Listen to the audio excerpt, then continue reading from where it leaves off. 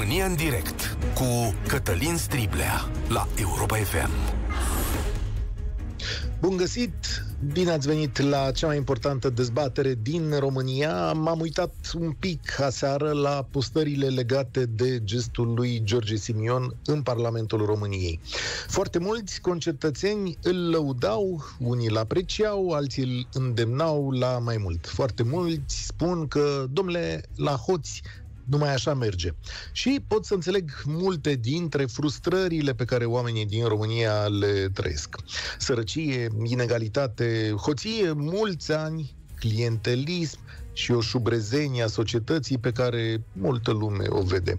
Și când ai o clasă politică coruptă, îți vine să-ți verși amarul uneori chiar și cu pumnul. Dar eu vă întreb astăzi, prieteni, de fapt, ce soluție a adus domnul Simion ieri V-a scăzut factura la energie? Urmează să scadă? Dau rușii gazul mai ieftin? Și cum o să trăim noi mai bine dacă cineva îl scutură de gât pe ministrul energiei? Mai există vreun român care nu știe ce s-a întâmplat ieri? Să povestim totuși. În Parlament ar fi trebuit să aibă loc dezbaterea la o moțiune simplă pe tema energiei, un subiect enorm de complicat la care nu avem un răspuns. În mijlocul dezbaterii, liderul aur George Simion vine la tribuna la care vorbea Virgil Popescu și îi spune că este un hoț. Îl ia de gât apăsat, îi suflă în gură, are atitudinea aceea de bătăuș din curtea școlii. Ministrul îi răspunde cu ești un prost scena lamentabilă duce la închiderea ședinței. Când iese mai târziu în public, George Simion spune că este o faptă reprobabilă, dar pe Facebook își întreabă publicul dacă ai spune hoț cuiva este incorrect. Dacă ai spune unui hoț că este hoț, este incorrect. Susține mai târziu că are documente care ar demonstra hoția lui Popescu.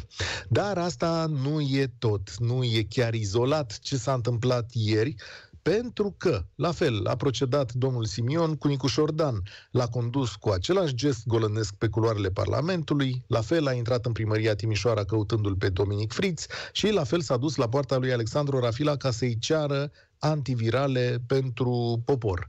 În urmă cu vreo 13 ani, s-a dus la poarta lui Ion Iliescu cu niște lumânări. E stilul lui de a face politică, fără soluții, dar cu acțiuni agresive și de intimidare. Și cu vorba bună, atunci când merge la oamenii amărâți, cărora le spune că o să aibă grijă de problemele lor. Și până la urmă o să zică multă lume, domnule, este un exaltat, un excentric, ușor agresiv, dar aici apare partea ideologică, că George Simion se vede cel mai bine, dar liderii aur, între care se află minimizează Holocaustul, au simpatii neolegionare, scriu texte abuzive la adresa femeilor și, printre altele, fac liste cu presa care nu le place și o numesc toxică. Adaug că a fost principala forță politică care s-a opus vaccinării, dar nu-și asumă nicio secundă că politica fiecare pentru el ar fi putut duce și la moartea unor oameni. Și totuși, dacă mâine ar avea loc alegeri în această țară, 20% dintre conaționalii noștri ar spune că aur trebuie să ne conducă. De ce? Vă întreb eu astăzi. 0372069599 Poți să ne suni și dacă ești uh, membru AUR sau simpatizant sau dacă nu ești, în orice caz, om preocupat de starea societății. 0372069599 Ce vă spune gestul lui George Simion? Este unul izolat sau reprezintă întreaga formațiune? Care ar trebui să fie răspunsul societății? Și până la urmă, prieteni, ce fel de soluție este aur pentru societatea românească? 0372069599. Această emisiune este și pe Facebook. Mai citeți printre mesajele de acolo câtă vreme sunt cumpănite și echilibrate. Dacă se flutură pumnul, nu mă interesează. Așadar, să-i dăm drumul. Bogdan, ești primul care vorbește la România în direct. Alo. Salutare. Salutare tuturor! Vă rețin doar puțin, având în vedere că sunt primul pe listă. Uh, vă sunt din Arad și am atâtea gânduri în cap decât se îngrămădesc pe vârful limbii. Deci nu aparțin unui, unui nici unui uh, uh, partid politic. Vă pun niște gânduri de pe persoană fizică în calitate de de bărbat de familie, cap de familie, un tânăr antreprenor și cu niște gânduri pentru viitori care nu prea sună bine. Gen abordarea ce am văzut-o ieri, clar că încurajează mitocănia, agresivitatea, de la cel care te agresează în trafic până la funcționarul care te, nu știu, te servește la ghișeu și are o altă abordare gen superioară, superioară ție. Uh, genul ăsta de abordări și violențe n-ar trebui nici măcar să existe, adică trebuiau să vină cei cu uh, ordinea din, uh, din Parlament, gen chestorii sau cine se ocupă cu chestia asta și să fie oprit din prima când l-ar fi văzut pe individul ăsta că urcă sus la scenă. Acum, dacă partidele nu spun nimic și gen PSD-ul acceptă tacit aur și ascensiunea lui. O să ne pomenim în 2024 o alianță între PSD și aur. Zici Ceea că e ce... posibil?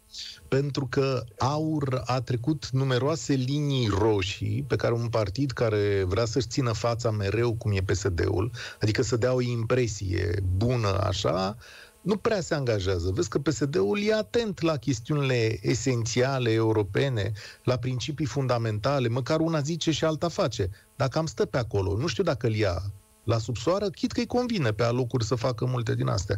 De ce crezi Având că l-ar lua PSD-ul? Având în vedere că USR-ul e în prag de desfințare și dizolvare, pe autodizolvare, PNL-ul care nici cum nu-și revine, până la urmă ei o să fie următorii după PSD, că PSD-ul își menține electoratul și în sondaje încă e primul și el va fi de acum încolo mult timp. Zici că aur va fi de acum încolo mult timp. Interesant. Cam aur va fi fost... al doilea loc într-un orizont de 2 ani de zile dacă, pe, dacă PNL-ul își menține ritmul ăsta haotic, uh, USR-ul clar se va autodesfința prin deciziile care le iau, ceea ce s-a întâmplat și ieri e o consecință a faptului că plusul și cu USR-ul nu se înțeleg de nicio formă. Și atunci o să rămânem să avem, să lucrăm cu materialul clientului, cu cine a mai rămas. Având în vedere că noi suntem un popor agresiv, adică noi chiar și în trafic noi tot ce înseamnă partea asta de agresivitate o vedem ca și, o, ca și un popor, ca și o, o persoană superioară. Adică dacă dă cu pumnul, are mai mult de spus decât unul care dă un contraargument verbal. Asta e așa adevărat. suntem, din păcate așa suntem, ăștia suntem noi și se perpetuează pe forma ADN, adică și tinerii și copiii sunt la fel, adică din punctul meu de vedere ca și tată a unui copil de un an și opt luni, pe mine mă îngrijorează foarte mult chestiunea asta, pentru că văzând tineretul și văzând oamenii de, de rând ceea ce s-a întâmplat în Parlament, fără ca să fie a doua zi sancționat într-un fel sau altul, nu doar verbal și pe surse, nimeni n-a luat nicio poziție fermă și oficială, încurajează pe cei care va fi ierbii, gen noi ăștia de, de lângă noi, persoanele de lângă noi care lua, adică apelează la forță dacă se văd că sunt inferior sau nu pot să-și susțină sau să-și impună punctul de vedere. Și să știți că... Pers- da, da, e posibil ca ei să reprezinte foarte bine societatea românească. Chiar este un sondaj care a apărut uh, astăzi, făcut de Avangard, sper să nu mă înșel, care arată modul în care partidul ăsta se pliază pe societatea românească. 60% dintre cei care îl preferă au liceu sau școală post-liceală, 30% au sub liceu, 40% sunt angajați, 32% nu au ocupație, 14% sunt antreprenori, oameni de afaceri sau patroni, 13% sunt pensionari, 8% spun că au studii superioare, 80% se uh, exprimă împotriva certificatului verde la locul de muncă și 65% împotriva vaccinării. Asta ca să aveți o imagine mai clară din uh, acest uh, sondaj. Și sunt bine reprezentați în Muntenia și Moldova. Asta să fie societatea românească? Nu neapărat că bine reprezentat în Oltenia și Moldova, chiar și Ardealul, la bază tot, uh, tot violent și mitocănie, adică gen dacă în Ungaria de la Netlac încolo poți să respecti niște reguli, poți fi tu chiar și din Moldova, Oltenia, Ardeal, acolo le poți respecta și aici, efectiv, de la gestul de a deschide ușa și a arunca mucul de țigară pe, pe geam pentru că se poate, până la gen să-ți faci o casă fără autorizație de construire, ce se întâmplă în jurul Clujului. Adică e la fel, suntem, suntem aceiași popor balcanic care ne reprezintă violența, din păcate. Se vede de la școlile gimnaziale până la violența în familie. Deci omul în general la noi în România, dacă nu poate să-și impună punctul de vedere verbal, apelează la violență. Îți mulțumesc tare mult, că aur prinde bine, de, deja începe să prindă bine și să crească în sondaje și în latura urbană, ceea ce e foarte îngrijorător. Da, cred și că aveam undeva aici că e un partid, da, e un partid, sondajul spune că e un partid urban, mai curând urban. Mulțumesc tare mult. Adică e 52 la 48, adică 52 la oraș, 48 la, uh, la țară, așa se împarte aur în momentul acesta. Dar eu cred că pentru foarte mulți dintre cei care admiră, există o reprezentare aici și printr-un sentiment profund al nedreptății și al inechității. Căci e vorba de oameni pe care ani de zile clasa politică i-a mințit. Unii dintre ei la un moment dat s-au dus la USR, că l-au văzut ca un partid antisistem. Alții au plecat de acolo și s-au dus la AUR, care îi reprezintă mai aproape, mai bine. George Simion vorbește mai bine pe limbajul lor. Dar și-au tras și filoane care ar putea să ducă la lucruri extrem de periculoase. Hai să vedem. Marian, salutare! Te-ai uitat ieri, ai văzut imaginile, ce spun ție? Uh, salutare! Foarte puțin m-am uitat. Uh, în timp ce am văzut un filmuleț pe, pe internet, mă gândeam uh, oare se aplică uh, situația asta pentru oameni extremi, soluții extreme, pentru o guvernare extremă, să vină un uh, Simion extrem și să dea cu pumnul, nu știu. Uh, Mie, mie, mie e foarte greu. De peste 20 de ani lucrez în servicii, știu ce înseamnă curent electric, știu ce înseamnă rețea de gaz. Stai, stai un pic, că la noi când zici servicii, lumea se gândește la serviciile de informații, da, nu te la... Nu, nu, nu, nu, da, scuzați. Servicii, da. Mă rog, electrice, servicii cu utilități, am înțeles, așa. Utilități, corect, corect, utilități. Uh, nu știu, nu știu dacă aș da vina foarte mult pe, pe Simion. Um, sincer să fiu, nu aș vota acum, la momentul ăsta n-aș vota aur um, deloc. Nici măcar la, la primărie, la mine n-aș vota, pentru că nu îmi demonstrează um, că poate guverna. Dar, repet, oare pentru o guvernare extremă uh, avem nevoie de soluții extreme? Nu știu. Omul a întrebat, a zis, domnule, dacă îi zic unui hoț că e hoț, greșesc? Răspunde tu la întrebarea lui. Uh, am niște principii mai, mai creștinești. Uh, undeva scrie acolo, răspunde nebunului după nebunia lui ca să nu se creadă înțelept și contradictoriu mai spune undeva, nu-i răspunde nebunului după nebunia lui ca să nu-ți pui jar uh, în, în sân sau paie în capul tău e interesant de răspuns la, la întrebarea asta. Eu de obicei spun omului pe față, dacă ești hoț, atunci ești hoț, du-te, lasă-mă. Da. Doar că e o singură problemă aici. Mulțumesc tare mult, Marian. E o singură problemă aici în toată povestea asta. Că domnul Simion încă n-a demonstrat că domnul Popescu este hoț. Ok, și dacă e hoț, să pună documentele pe masă. Aici e o șmecherie. Ă, m-a strigat foarte tare. Uite hoțul. Bine, pune documentele pe masă, arată că e hoț și ne ocupăm mai departe ca societate de chestiunea asta. Și încă o întrebare. Este hoția lui Popescu cea care a dus la mărirea facturilor? Asta vrea să ne demonstreze? Sau ne demonstrează incapacitatea lui de a rezolva problema asta? Sigur că aici sunt niște semne de întrebare, dar provin ele din hoție. Calea cea mai simplă nu poate rezolva problemele cele mai complicate. Asta vreau să zic. Mircea, salutare, ești la România în direct. Salut, Cătălin, și salutare și ascultătorilor Europa FM. Da, dacă spui un om că este hoț și nu mergi până la capăt, greșești. Pentru că dacă nu mergi până la capăt, înseamnă că îl calomniezi, nu ai suficiente probe. Și dacă ai suficiente probe, atunci mergi până la capăt și înlături un hoț din societate. Deci da, greșești dacă spui un om că e hoț și, repet, nu mergi până la capăt. Problema cu aur este alta. Dacă nu exista George Simion și Aur, exista un alt partid cu același, cu alt nume, cu alte personaje, dar cu aceleași metehne. Ascensiunea AUR nu este dată de, și aici, din punctul meu de vedere, mass media și politicieni în general fac o mare greșeală bagatelizând electoratul AUR, mergând pe ideea că mulți au până în 8 clase, mulți au liceu, mulți... Nu contează asta. O să ajungă să fie votat și de intelectual pe următorul principiu, din răzbunare. Domnule, dacă mie mi-e rău oricum, pentru că sunt condus de niște incompetenți și niște cretini. De ce să nu aleg eu pe idioții ăștia de la AUR, nu cer scuze pentru termen, de ce să nu aleg eu pe nebuni ăștia de la AUR care vor arunca în haos societatea ca să le fie și lor rău? Să nu-și mai Dar... cheltuie averile în liniște și pace. Lasă să-i răstoarne ăștia, la... că iau de gât. La nivelul... 30 de ani în care am votat rău cel mai mic, mi-e tare teamă să nu începem să votăm din răzbunare.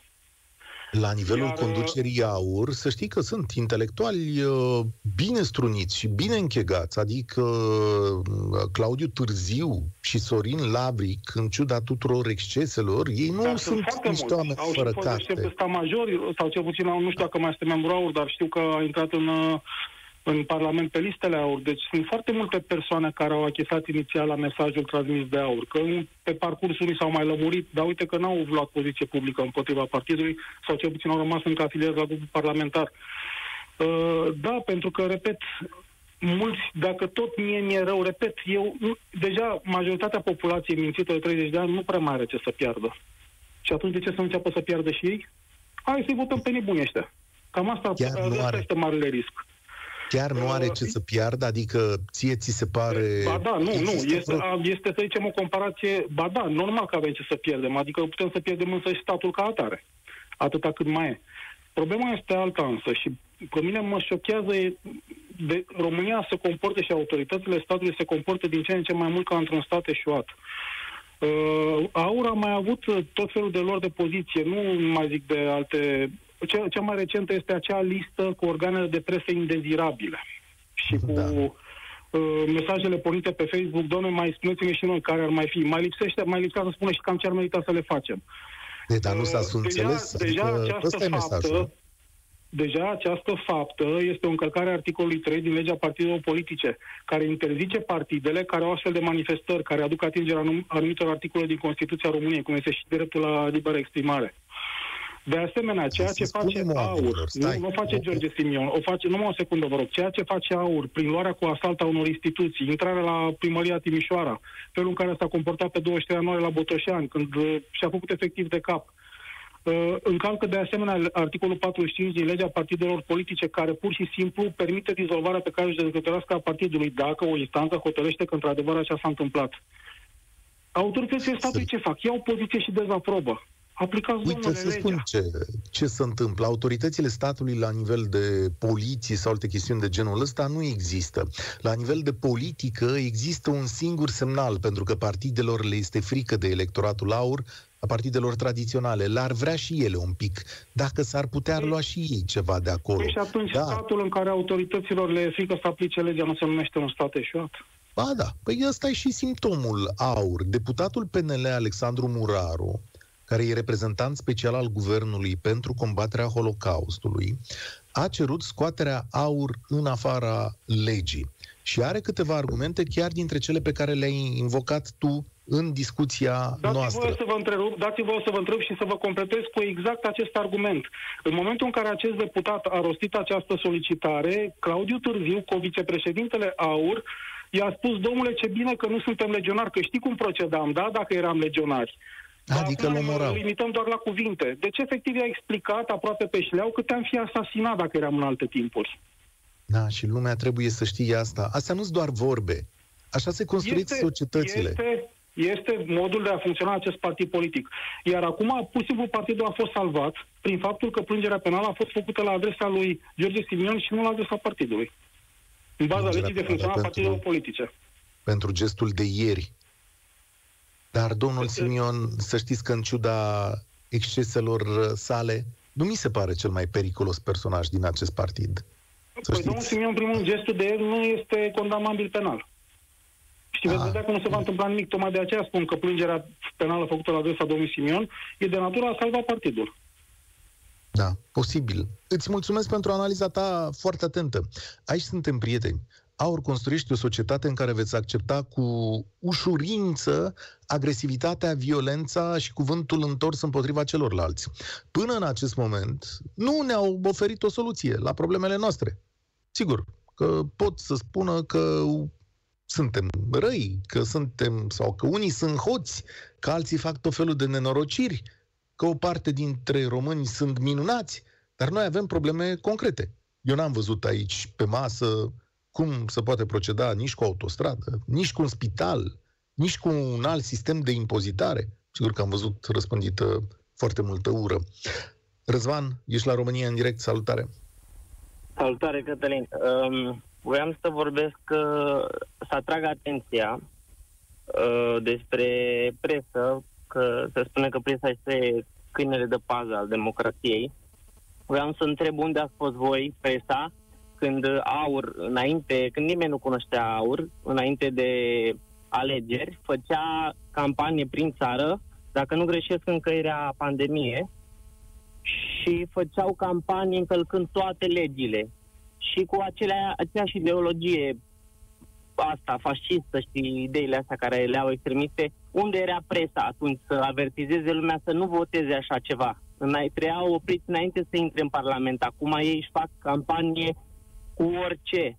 Deci presa avea, cum să zic, ă, avea obligația să avertizeze lumea de ce fel de oameni sunt. Pentru că uh, oamenii simpli nu-și dau seama de chestiile astea, de ce este în spatele acestui partid, de unde se finanțează, ce înseamnă aceste idei. Mulți nu știu istorie, nu știu ce înseamnă fascismul, cât de uh, crunt a fost uh, această mișcare, mai ales în România.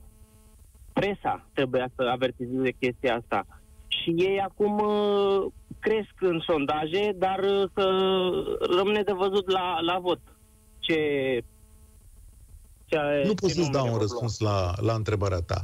E, din experiența mea, aș zice doar atât ca prin punct de plecare.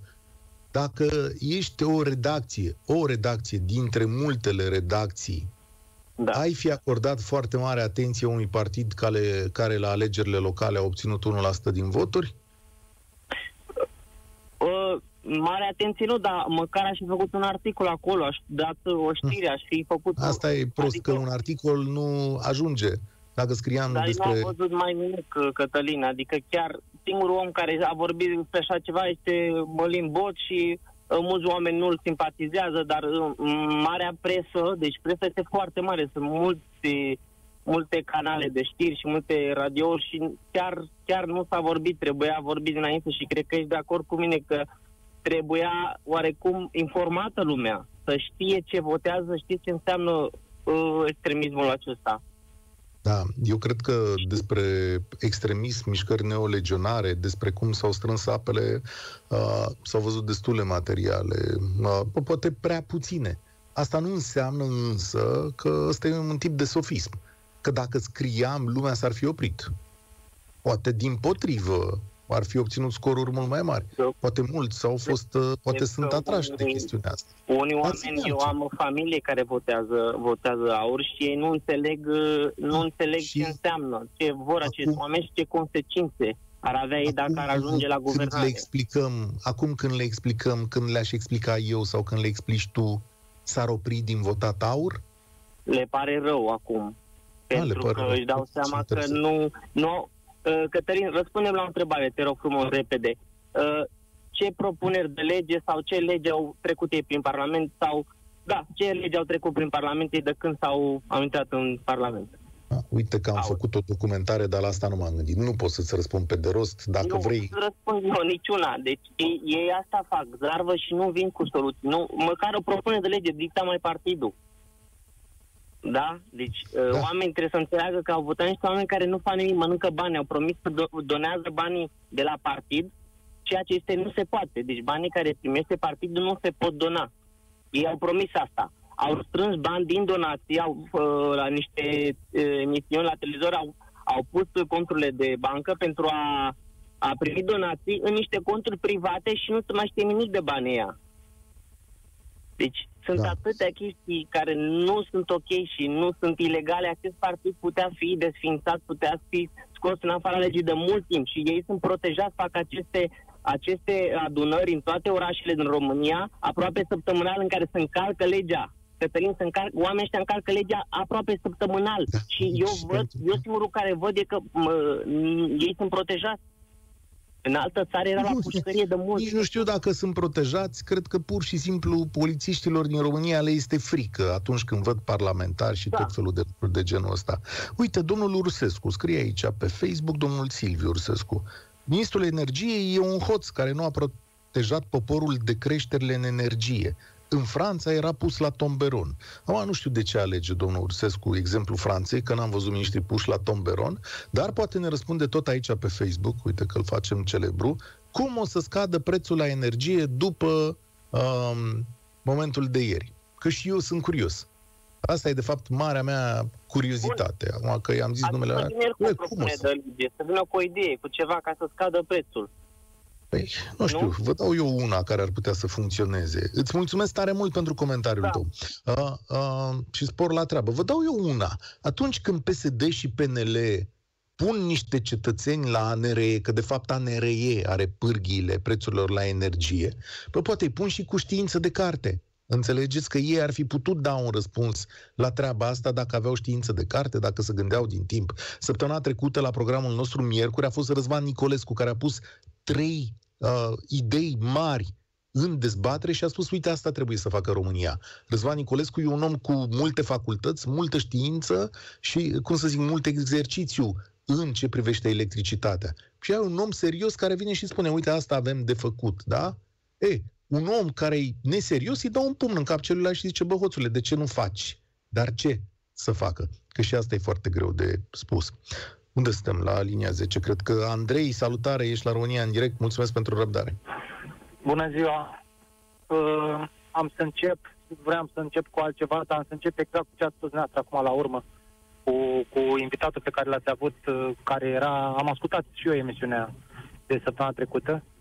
Uh, princip, da, prima problemă pe care ar trebui să ne o punem cu privire la apariția și, iată, creșterea uh, accelerat în sondaje acestui partid este cine l-a făcut posibil.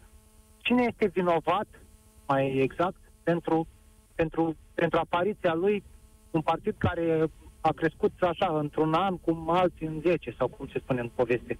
După părerea mea, este doar, este doar o părere, după părerea mea, e vorba despre cele două partide, mă rog, PSD-ul și liberalii, PNL-ul, care prin același gen de politică promovat din 89 încoace. Bine că ei au fost diverse numere, nume PDSR, PSD, PD, PNL, PND, care au mai fost, dar partidele astea de uh, mainstream, să le zicem așa, prin modul de a-și promova în funcție, în funcții de conducere, în funcții în guvern, în parlament, la, la, la, la uh, de concentrate, la autorități, la, cum ați spus la NRE, oameni capabili și, um, cum să spun, vizionari în domeniul lor au, uh, au, uh, au promovat permanent același tip de, uh, de da. personaje care au ajuns acolo, deși nu au, de multe ori nici măcar nu au legătură cu...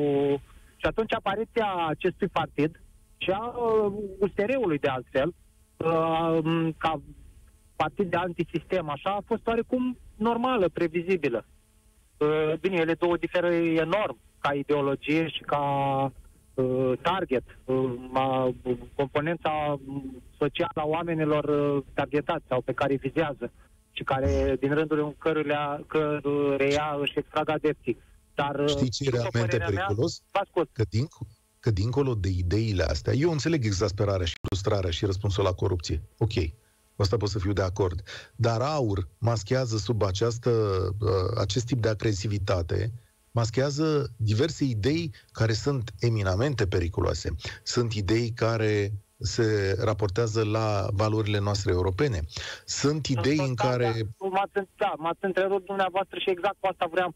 Măcar, măcar PSD-ul, cred că ați spus dumneavoastră mai înainte, măcar PSD-ul, uh, cu excepția perioadei Dragnea, a menținut măcar la nivel declarativ o o apartenență pro-europeană sau un, un, un, mă rog, un imbold, un impuls pro-european. Nu mai zice la alte partide. Ei, ăștia de la AUR nu mai fac lucrul ăsta, ce, ce este enorm, enorm de periculos. Sunt atât de trist. Eu am 42 de ani, copilul meu are 10. Eu trăiesc bine aici în țară la noi, chiar mult peste medie. Și nu pot fi ipocrit să spun că voi pleca, pentru că, dar, dar gândind în perspectivă la societatea care îl așteaptă pe, pe copilul meu, care încerc să-i dau o educație cât, cât pot eu de bine. Eu am terminat facultate și master, soția la fel, și încercăm să-l are 10 ani și încercăm să-l, să, să, să facem din el un om. Dar mă tem că societatea aia de care vorbeați dumneavoastră mai înainte, uh, românească, așa cum este ea acum, încă peste 10 ani, când, 15 ani, când el va intra în, în puternic, în câmpul muncii și în toate testătura asta socială, nu va mai fi uh, nici, sau, nici măcar asemănătoare cu ce trăim astăzi. După părerea mea, asistăm, trăim în direct, live, un, un, uh, un fenomen foarte periculos. Au vorbit, ați vorbit dumneavoastră și dintre interlocutorii dinaintea mea, am auzit la radio despre fascism. Să nu uităm cauzele sau cauza cea mai care a lansarea războiului al doilea mondial. Eu nu vreau să mă gândesc, nu vreau să mă gândesc, dar Prarea unei asemenea, clase, unei asemenea da. clase într-o putere de rangul Germaniei de atunci, din 33, atunci uh, la, la, la asta a dus. M-am îndepărtat puțin de la subiect.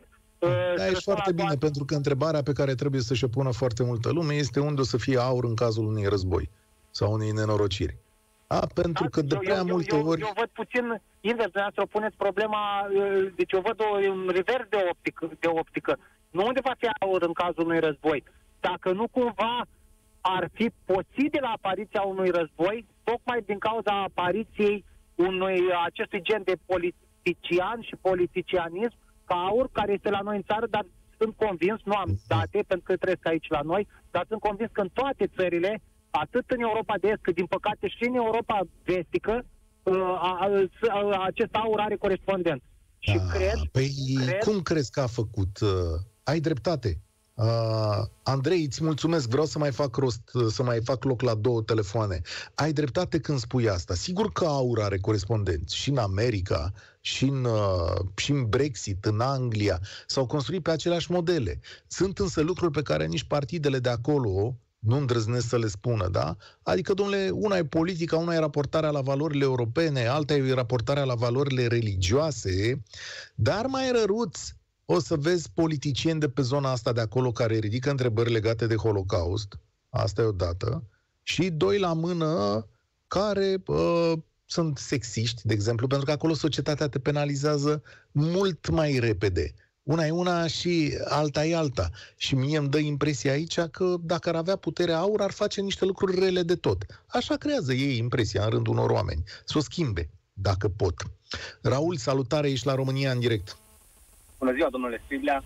Uh, da, ați menționat ceva foarte important acum. Fenomenul ăsta este un fenomen pe care îl regăsim în Europa de ceva vreme. Fenomenul de partide populiste, uh, dar care, și atenție, uh, îmbracă cu o cu totul altă formă în statele civilizate. O formă de dezbatere, o formă în care astfel de partide au loc în Parlament și chiar la guvernare și lucrurile se întâmplă într-un mod civilizat. Dar realitatea țării noastre este că avem această figură mesianică uh, care vine și dă năvală peste pri, uh, primăria Timișoara într-un mod execrabil, uh, o figură care vine și ea de gât uh, în Parlament oameni. Nu, deci pentru mine, vă spun sincer, este un șoc. Uh, am, am 20 de ani, este un șoc să văd uh, sondajele de aproape 20%, dar părere de rău și știu că s-ar putea să, să sune puțin uh, dur, asta este realitatea țării noastre. Uh, este o realitate pe care uh, se pare că cei 30 de ani de democrație, sau să zicem pseudo-democrație, uh, uh, realitatea pe care i-a adus oamenii uh, uh, să, să, să voteze, să, să fie de acord cu astfel de tendințe politice, dar, uh, nu știu, eu, eu unul am mai fost șocat și de uh, faptul că îmi vorbea cineva înainte, Uh, cu valorile creștine. Mulți creștini vin și se aliniază cu astfel de partide uh, doar pentru că este singura dreaptă adevărată. Uh, dreapta TNL a murit. Uh, nu, deci uh, pur și simplu sunt, sunt anumite, anumite uh, detalii, anumite valori uh, care nu știu cum merg, cum, cum, cum aparența asta de uh, funcționează pentru anumite persoane, inclusiv intelectuale. Zicea cineva că intelectualii o să ajungă să voteze.